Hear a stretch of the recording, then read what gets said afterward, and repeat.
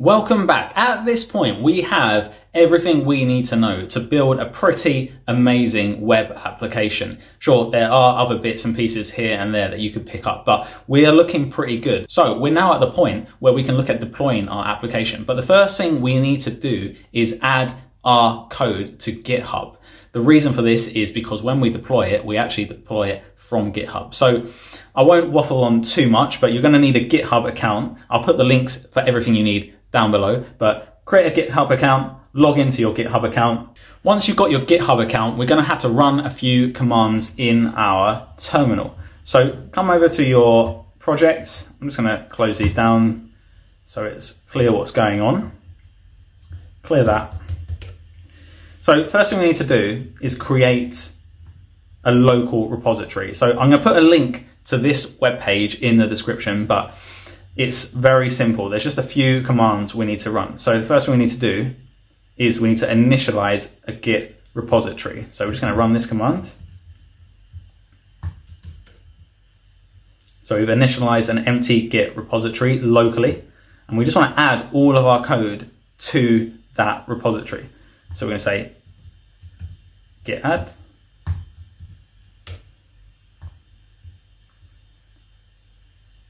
git commit.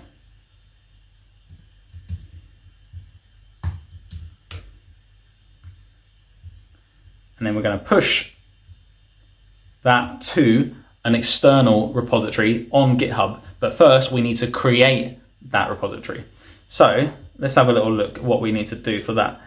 Adding a local repository, we'll actually just create it in our GitHub account. So I'm going to say create repository we're just going to call it courses. I'm going to make it private. We don't want a README and we do not want a git ignore. And we're just going to say create repository.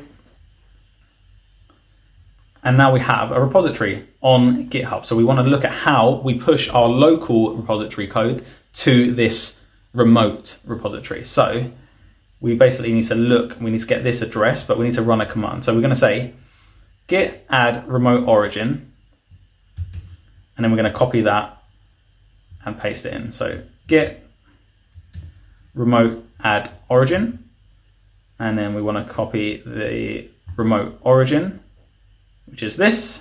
So copy that.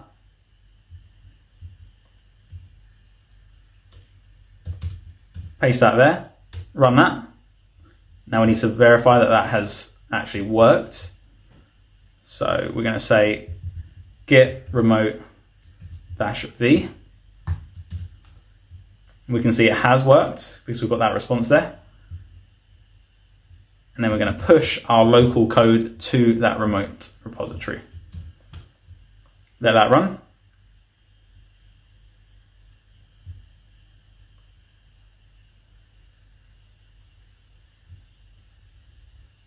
Just wants to verify so we're going to authorize Visual Studio Code to do that.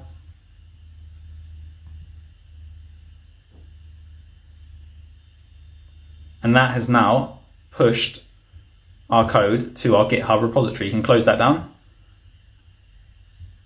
Go back to your GitHub repository and we can see we've got this here. Now if we refresh it, we're going to see all of our code appear magically here. And I say all of our code, it's not actually all of our code because this is a key point. If you come to a file here called git ignore in our local repository, it tells git which files to ignore, so which ones to not add. So if we have a look here, git ignore, and one key one you're going to see here is public slash build. And this is all of our build files. So this is actually going to make it difficult for us to deploy, uh, or it's going to mean that we have to run a function on our server, not run a function, run a command on our server. I personally don't like doing that. So what I'm going to do is delete that. So public slash build, save that. And now we can run npm run build. And that's going to create all of our build files in this build folder here. And once it's built, once this is finished doing its thing, we can then add all of those files and upload those to our remote Git repository also. And the reason we do that is because when we pull that code back down from our Git repository, GitHub repository, sorry, remote one, to our hosting environment, we need it to include those build files because those are the most important files. Um, and if we don't remove that from gitignore, we're not going to be able to push them to our GitHub repository, and therefore we're not going to be able to pull them down because they're not going to exist there. Um, so that's run its course. So now we can say git add, and if you just put a little asterisk, it will add everything. Git commit, and you can put a little message, and you can say added build files, removed build files from gitignore. So this is just for your reference. And then you say git push, it's gonna push all of that code back up to your GitHub repository. So we will now, if we go to public, we're gonna see the build folder here, which was not there before. You have to take my word for it, it wasn't there because it was in the gitignore. And now you have that there. So we're well on our way to being able to deploy our application. See you in the next video.